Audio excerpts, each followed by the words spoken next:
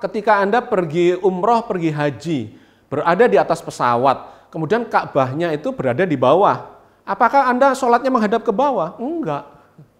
Kenapa? Karena Allah meliputi seluruh jagat raya. Ya, jadi tidak ada kaitan mutlak antara menghadap kiblat itu dengan menghadap Allah, apalagi terkait dengan bumi datar. Enggak ada kaitannya sama sekali.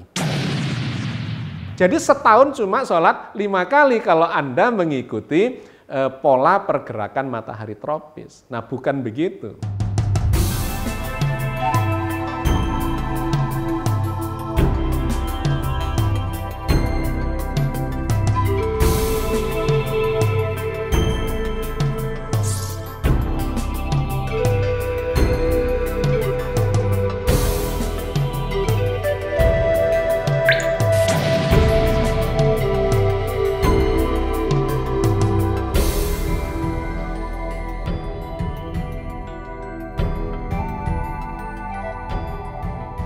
Assalamualaikum warahmatullahi wabarakatuh.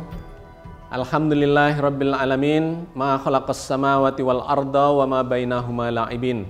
Wassalatu wassalamu ala nabina Muhammadin wa ala alihi wa ashabihi wa ummatihi ajmain.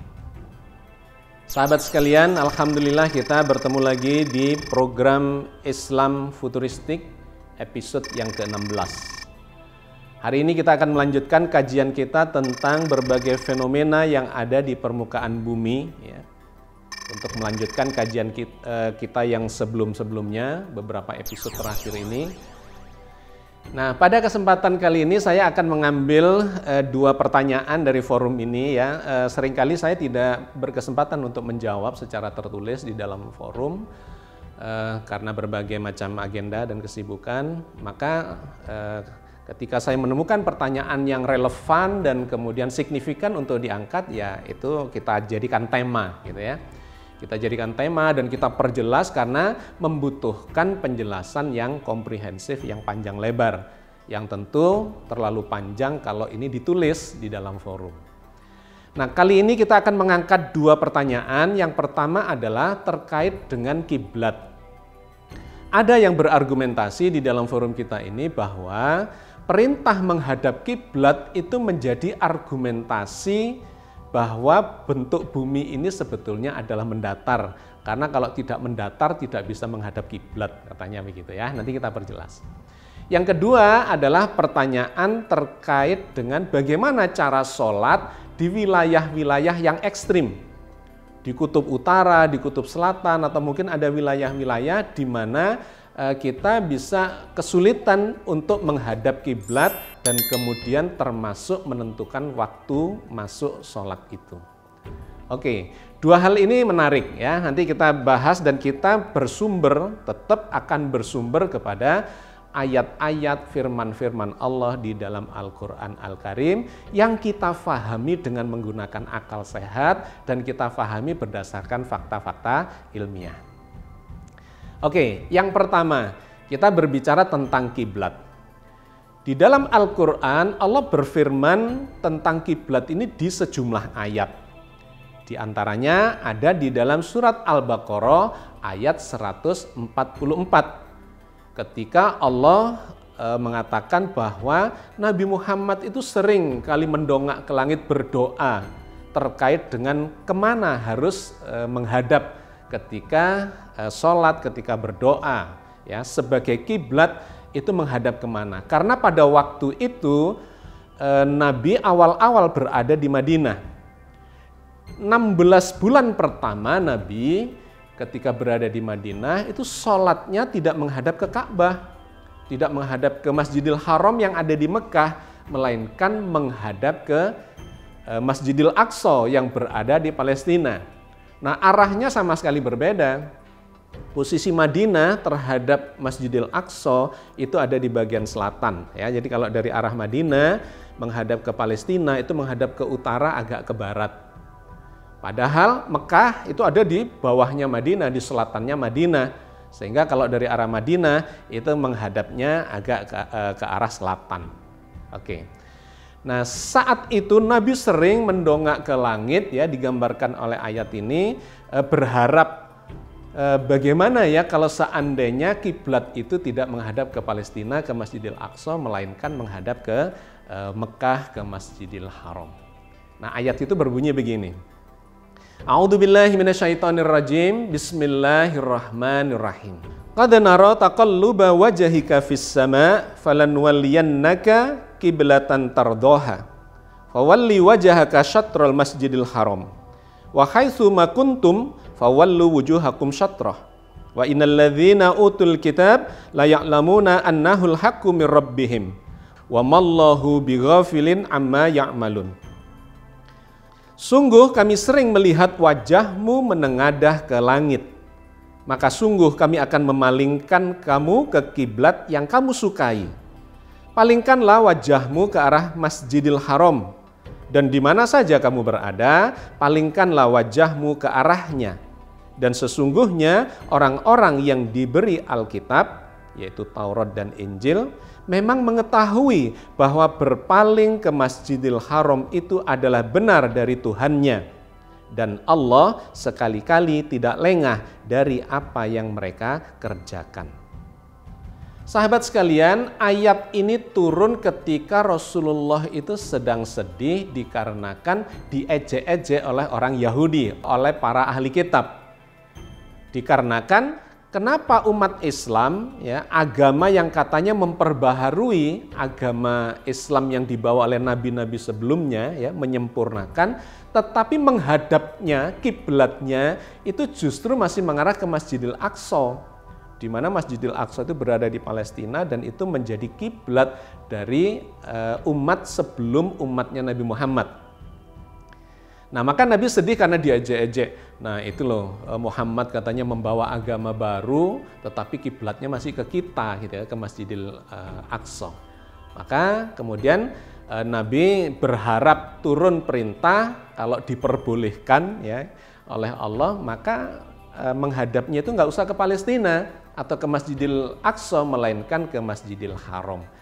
Maka turunlah surat Al-Baqarah ayat 144 itu di mana Allah mengatakan Allah memalingkan atau memerintahkan untuk memalingkan wajahnya, wajah Rasulullah yang menghadapnya adalah ke Masjidil Haram di mana beliau sukai ya. Jadi ini menarik.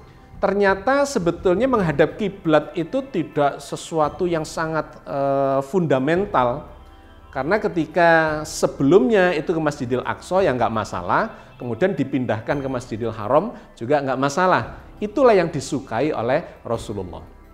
Dan kemudian ketika berada di mana pun, maka palingkanlah wajahmu, kiblatnya sekarang berganti ke arah Masjidil Haram. Ya, jadi ayat ini sama sekali tidak ada kaitannya dengan bumi datar atau bumi bulat atau apa pun. Tidak ada satu kata pun di situ yang mengkaitkan antara menghadap kiblat itu dengan eh, bentuk bumi uh, berbeda urusan sama sekali. Ayat ini adalah ayat hukum, ayat muhkamat yang sangat jelas uh, dan perintah terkait dengan peribadatan. Bahwa menghadap kiblat itu Rasulullah menginginkan ke Mekah atau menghadap ke kiblat Masjidil Haram yang kemudian Allah mengizinkan untuk itu ya sebagaimana sebelumnya berkiblatnya adalah ke Masjidil Aqsa. Ya, jadi sekali lagi ayat ini bukan ayat yang bisa dijadikan argumentasi untuk mengatakan bahwa bentuk bumi itu datar. Ya, karena ini banyak bukan hanya di forum ini, saya lihat di internet itu banyak yang berpikiran, yang berpendapat bahwa eh, kalau buminya tidak datar, lantas bagaimana bisa menghadap kiblat? Nah, begitu ya. Tetapi sesungguhnya terlalu jauh kalau mengambil ayat ini kalau mau berargumentasi soal bumi datar atau bulat, itu ambillah ayat-ayat yang bercerita tentang keywordsnya, ya kata-kata kuncinya itu adalah bumi, datar, bulat, melingkar, melengkung, dibentangkan. Nah itu baru kemudian kaitannya dengan bentuk bumi. Tetapi ayat ini sama sekali tidak bicara tentang itu, melainkan bicara tentang Eh, kiblat dan kiblat itu sebetulnya bukan soal menghadap Allah. Karena Allah itu tidak berada di kiblat saja. Nah, ini yang kemudian eh, banyak yang salah tafsir ya. menghadap kiblat itu kaitannya dengan menghadap Allah. Oh, nggak ada kaitannya. Ya, nanti kita lihat ayat-ayatnya bahwa menghadap kiblat itu sesungguhnya adalah persoalan administratif saja ya, semacam persoalan administratif saja sehingga ketika tidak ketemu kiblat itu ya tidak menghadap kiblat juga tidak apa-apa. Ya, kita lanjutkan pada ayat uh, yang berikutnya karena uh, seperti biasa ketika kita bicara tentang uh, membangun kesimpulan dari dalam Al-Qur'an, maka kita mencoba menjelaskannya dengan berbagai ayat supaya komprehensif. Nah, yang kedua ini Allah berfirman di dalam surat Al-Baqarah ayat 142. Saya kulus sufaha'u minan nas ma wallahum an qiblatihimul lati kanu 'alaiha. Qul lillahil masyriqu wal maghrib yahdi may yasha'u ila siratim mustaqim. Orang-orang yang lemah akalnya, yang kurang akalnya di antara manusia akan berkata, Apakah yang memalingkan mereka umat Islam dari kiblatnya yang sebelumnya yaitu Baitul Maqdis yang dahulu mereka telah berkiblat kepadanya? Katakanlah kepunyaan Allah timur dan barat, dia memberi petunjuk kepada siapa yang dikehendakinya ke jalan yang lurus. Di ayat ini Allah mengatakan bahwa timur dan barat milik Allah. Mau berkiblat ke mana? Ya itu urusan uh, atau kekuasaannya atau terserah kepada kehendak Allah. Dan ketika nabinya menginginkan kiblatnya tidak ke Masjidil Aqsa melainkan dipindahkan ke Masjidil Haram kemudian Allah meridhoi dan kemudian memerintahkan ya sudah pindahkan arah kiblat yang tadinya ke arah utara dan agak ke barat itu ke arah selatan agak ke timur maka kalau Anda datang ke Madinah anda akan menemukan ada masjid namanya Masjid Kiblatain. Masjid yang kiblatnya dua. Jadi pengimamannya itu dua. Satu arahnya ke arah Palestina, ke Masjidil Aqsa, di mana eh, di awal-awalnya umat Islam kiblatnya menghadap ke sana. Tetapi kemudian dipindahkan ke arah selatan dan eh, dibikinlah pengimaman atau arah kiblat yang mengarah ke selatan, ke timur, ke arah Masjidil Haram. Nah, masjid ini diabadikan disebut sebagai Masjid Kiblatain yaitu memiliki dua kiblat. Ya, jadi eh, sesungguhnya masalah kiblat itu bukan masalah yang esensial. Masalah kiblat adalah masalah yang cenderung bersifat eh, administratif operasional yang di mana pun kita berada umat Islam di seluruh muka bumi ini supaya sholatnya itu tidak kocar kacir ke arah yang tidak eh, karu-karuan ya, maka diberikanlah arah untuk menghadap ke Masjidil Haram. Bisa dibayangkan kalau misalnya kiblatnya itu tidak ditentukan. Wah itu sholat ada yang di satu masjid nih, ada yang menghadap ke utara, ke selatan, ke barat, ke timur, menjadi kacau. Tetapi dengan ditentukan arahnya ini, maka di setiap wilayah kalau dia berada di timurnya Ka'bah kayak Indonesia ini, adalah negara-negara ya masuk dalam negara-negara yang berada di timurnya Ka'bah maka menghadapnya semua ke barat. Negara-negara yang di baratnya Ka'bah semua menghadap ke timur. Negara-negara yang di utaranya Ka'bah maka semua menghadap ke selatan dan yang di selatan menghadap ke utara. Jadi eh, itu sifatnya hanya memberikan arah saja dalam peribadatan tetapi sama sekali tidak terkait dengan menghadap Allah. Kenapa? Karena Allah itu tidak berada di dalam Ka'bah. Nah karena itu kalau Anda melihat ya di internet sudah ada nih orang bisa atau boleh dan sah melakukan sholat di dalam Ka'bah. Menghadapnya ke mana? Ya ke mana saja. Menghadap ke dinding Ka'bah, ke arah barat, ke arah timur, utara, selatan, tidak ada masalah. ya. Ini cuma soal kesepakatan saja.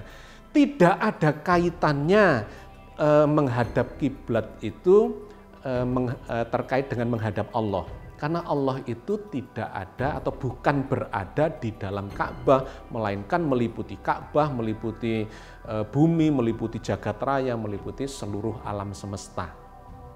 Ya, apalagi terkait dengan bumi datar atau bumi bulat nah, tidak ada kaitannya. Ini ayat yang sama sekali berbeda yang berbicara tentang peribadatan. Nah, terkait dengan menghadap Allah, maka itu ada ayat lagi ya yang lain yang kemudian memberikan penjelasan yaitu salah satunya uh, ada di dalam surat Al-Baqarah ayat 115. Walillahil masyriku wal maghribu fa'ainama tuwallu fasamma wajhullah innallaha wasi'un alim. Dan kepunyaan Allah lah timur dan barat, maka ke mana pun kamu menghadap, di situlah wajah Allah. Sesungguhnya Allah maha luas, lagi maha mengetahui. Jadi kalau dikaitkan dengan menghadap Allah itu nggak ada masalah sama sekali. Timur dan barat milik Allah. Ke mana pun kalian menghadap, kalian sedang berhadapan dengan Allah. Karena itu sebetulnya menghadap kiblat itu eh, terkait dengan kondisi. Ya, bukan sebuah kemutlakan.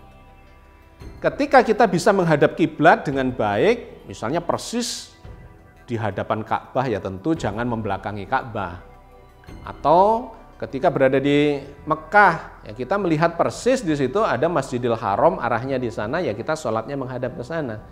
Tetapi ketika dia jauh dari Masjidil Haram, ya tentu sebisa-bisanya kita menghadap ke arah kiblat itu. Tetapi kalaupun tidak bisa, itu tidak membatalkan atau menjadi eh, tidak menjadi masalah bagi eh, kita.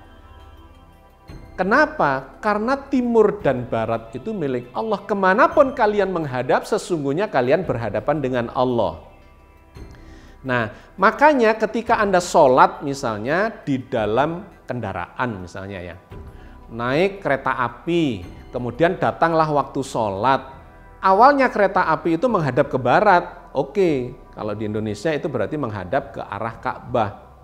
Lantas ketika kereta apinya berbelok, apa yang Anda lakukan? Apakah Anda menggeser posisinya supaya terus menghadap Ka'bah? Enggak. Ya biarkan saja e, belok ke kanan, belok ke kiri, ke utara, ke selatan, nggak ada masalah. Karena kiblat itu sebetulnya adalah e, bukan sebuah kemutlakan, melainkan ya sebuah keafdolan. Yang ketika kita kesulitan untuk menghadap kiblat, ya nggak apa-apa, nggak jadi masalah.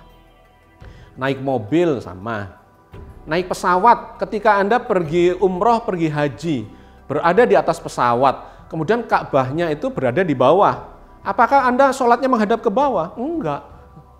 Kenapa? Karena Allah meliputi seluruh jagat raya. Ya, Jadi tidak ada kaitan mutlak antara menghadap kiblat itu dengan menghadap Allah, apalagi terkait dengan bumi datar. Nggak ada kaitannya sama sekali.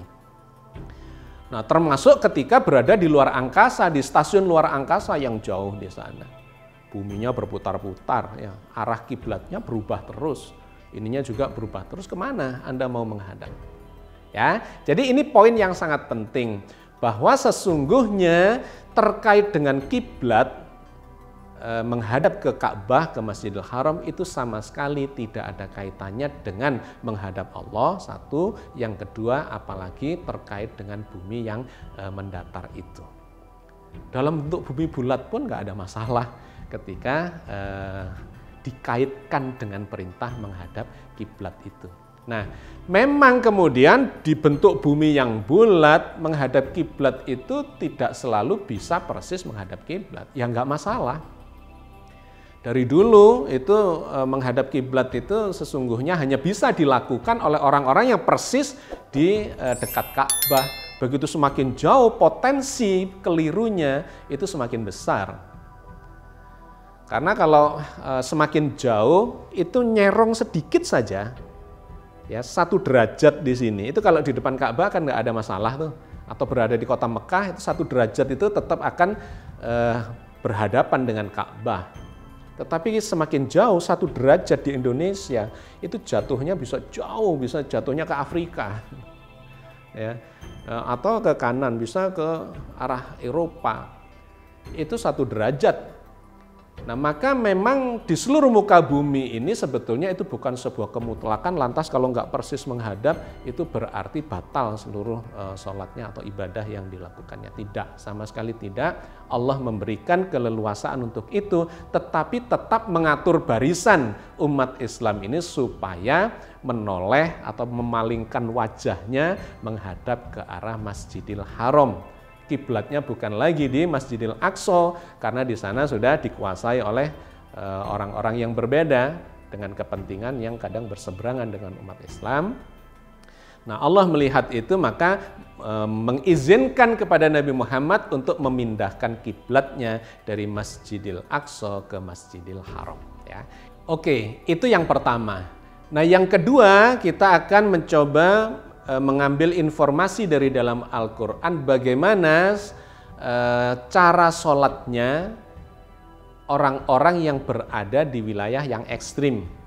Ya, yang e, kondisinya sangat berbeda dibandingkan dengan orang-orang yang berada di sekitar Ka'bah atau orang-orang yang ada di kawasan ekuator ya, yang e, cara menghadap kiblatnya dan termasuk nanti waktunya itu e, tergolong stabil. Tetapi di kawasan-kawasan yang di luar e, titik balik matahari 23,5 derajat mengarah ke utara ya sampai ke kutub itu akan terjadi kondisi yang ekstrim berbeda. Termasuk ke selatan 23,5 derajat lintang selatan sampai ke kutub selatan itu kondisinya akan e, sangat berbeda baik terkait dengan kiblatnya maupun terkait dengan uh, waktunya. Nah, dari segi waktu uh, kita uh, sudah membahas sebagiannya ya di episode-episode yang lalu bahwa memang waktu di permukaan bumi yang berputar dan berbentuk bulat itu akan mengalami kondisi yang berbeda-beda.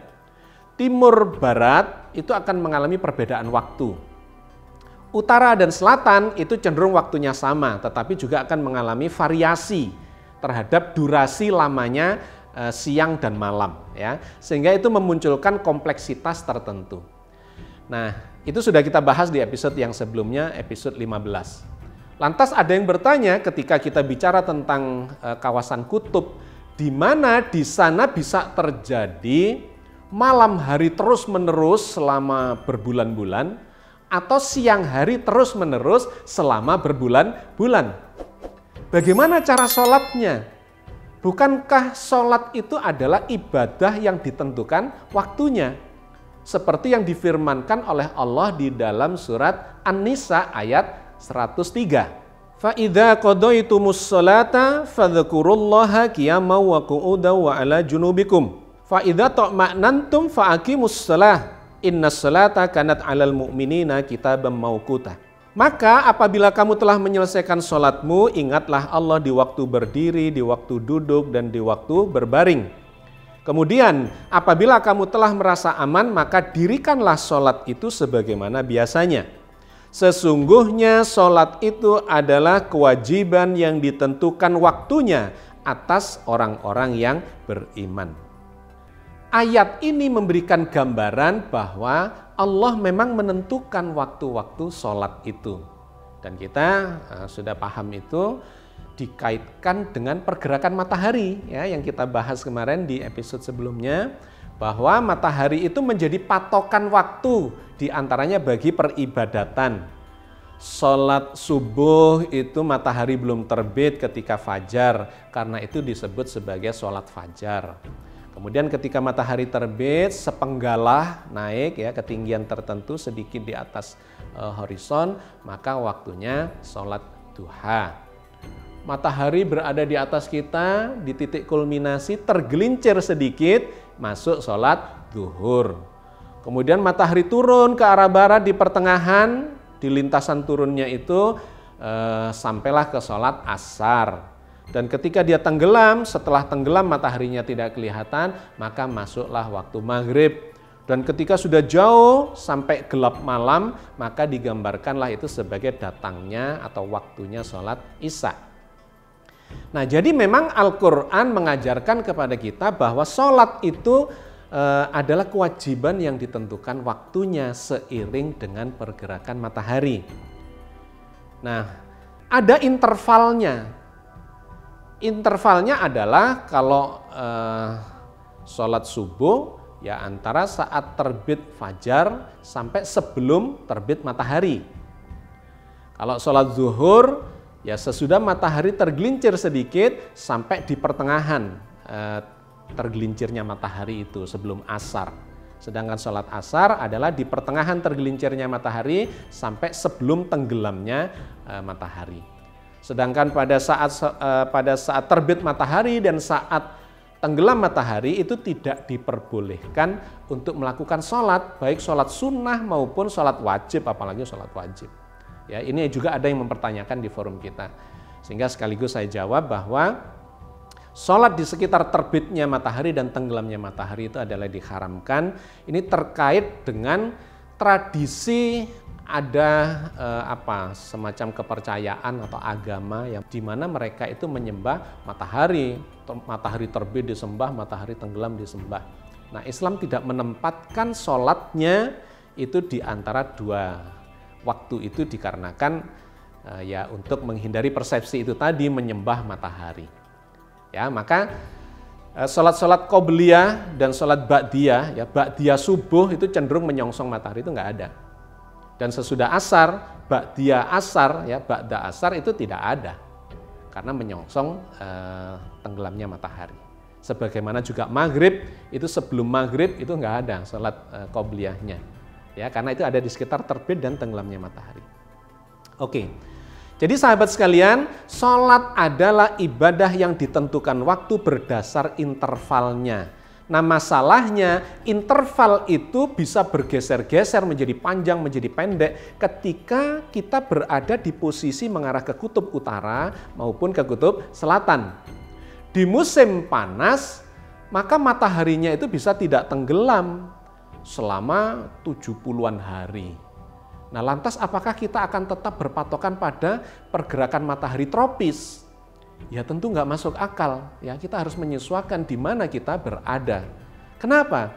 Kalau Anda menjadikan patokan matahari mulai dari fajar, terbit, titik kulminasi sampai tenggelam, itu tidak akan Anda temukan di kutub pada saat di sana musim panas mataharinya tidak terbit, mataharinya tidak tenggelam, melainkan terus berada di sekitar horizon, naik turun, naik turun, naiknya tidak sampai ke atas, turunnya tidak sampai tenggelam. Dan itu terjadi selama berbulan-bulan.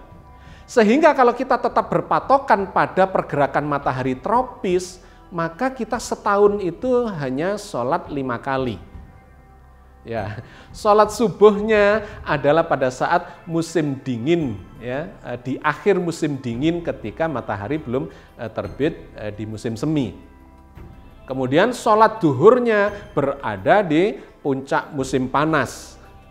Kemudian sholat asarnya setelah musim panas, musim gugur. Kemudian sholat maghribnya setelah musim gugur masuk musim dingin lagi. Kemudian di puncak musim dingin sholat isya. Jadi setahun cuma sholat lima kali kalau Anda mengikuti pola pergerakan matahari tropis. Nah bukan begitu. Makanya Allah menggunakan atau mendorong kita memahami pergerakan langit bukan sebagai kemutlakan, melainkan sebagai patokan waktu.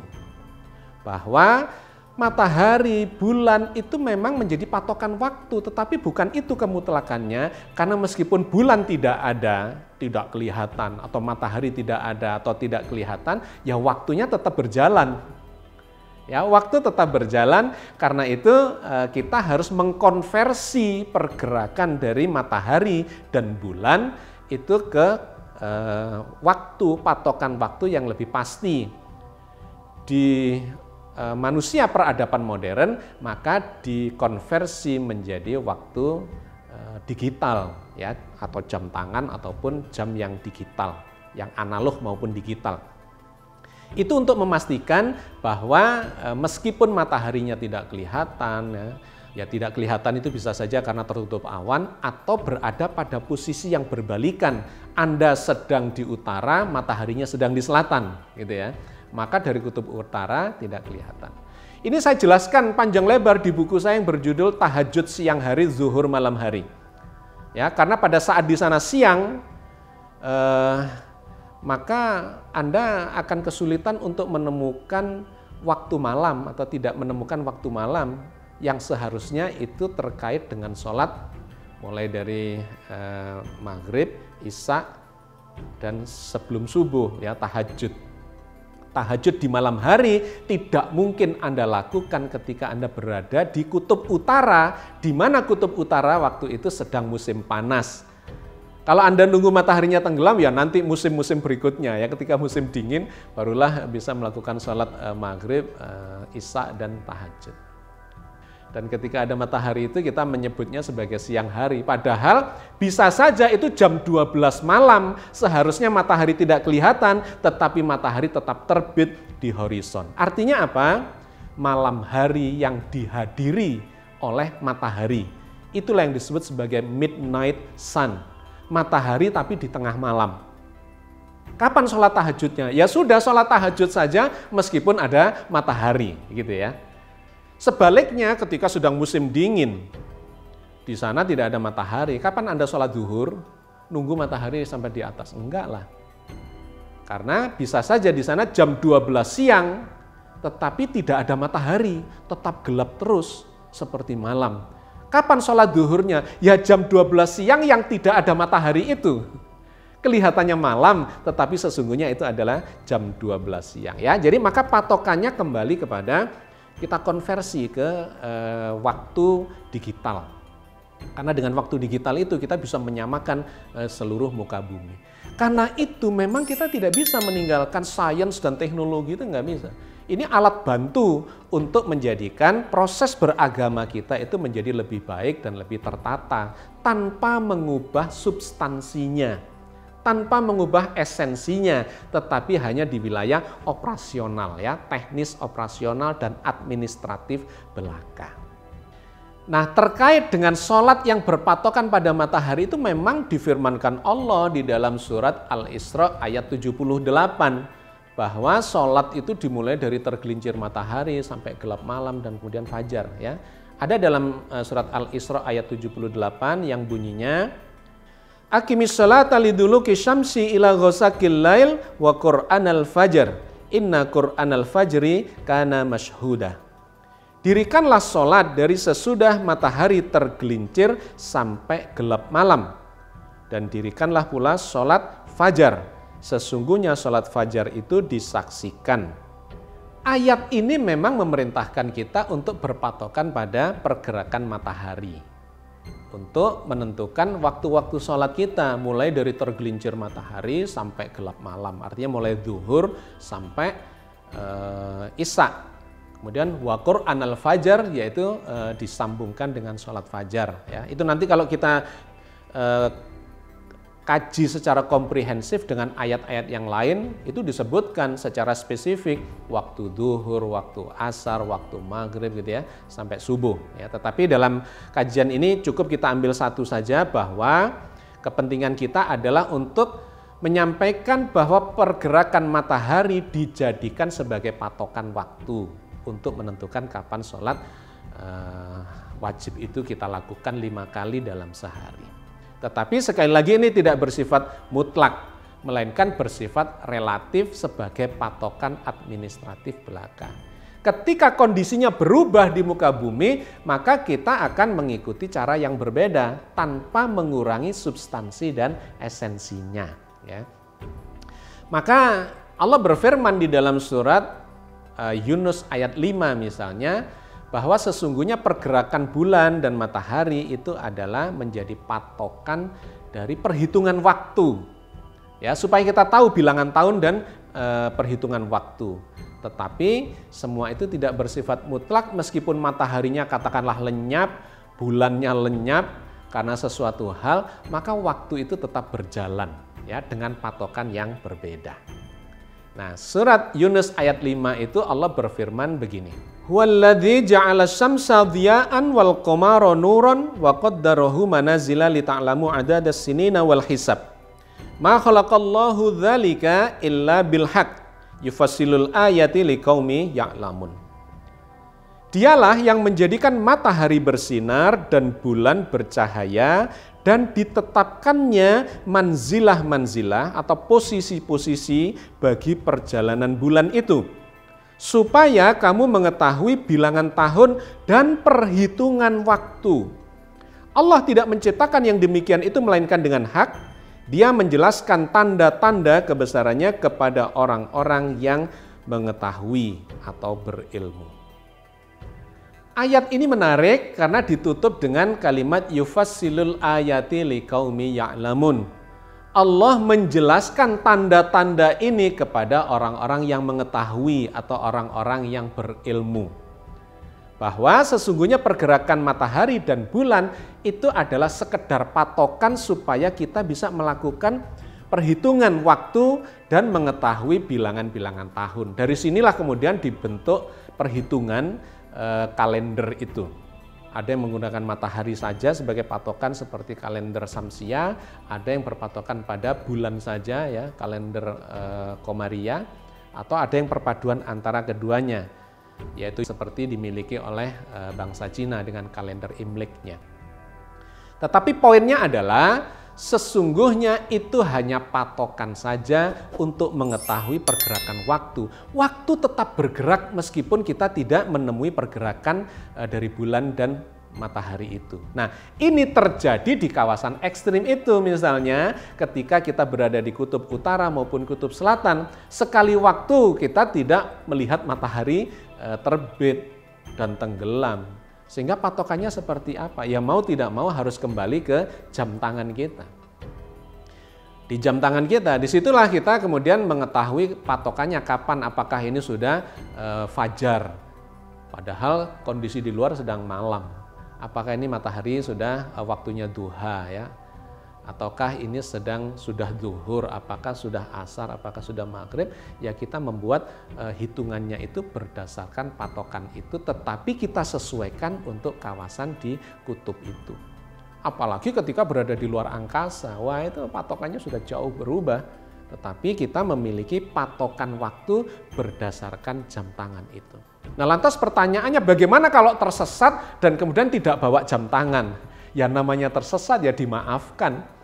Sama dengan ketika Anda berada di, di dalam kendaraan, kemudian tidak bisa menghadap kiblat, ya menghadap ke mana pun Allah meliputi segalanya, meliputi langit dan e, bumi dan timur dan barat semuanya diliputi oleh Allah waktunya nggak ketahuan ya sudah sholat saja karena memang dalam kondisi yang e, boleh dikatakan sebagai darurat ya. Jadi agama ini begitu mudahnya buat kita jangan dipersulit, semuanya ada penjelasannya di dalam Al-Qur'an, tetapi kita harus membahasnya secara komprehensif. Jangan dicupliki sebagian-sebagian sesuai dengan kepentingannya saja.